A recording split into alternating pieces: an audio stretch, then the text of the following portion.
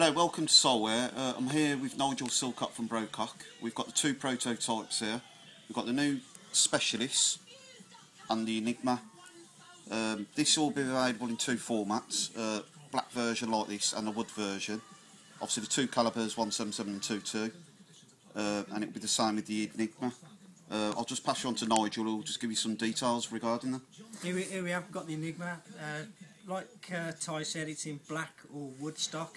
It's uh, an old favourite. Um, about 10 or 15 years we started producing this. Uh, because of public demand, we've revamped it. Uh, it's a 100 shot capacity.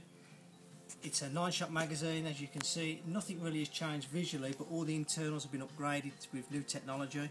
Uh, we've got the new one here as well, which is the Specialist, which again, what Ty said, is in black or a wood stock.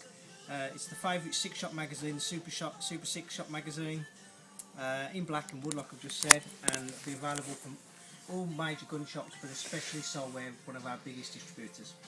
Okay.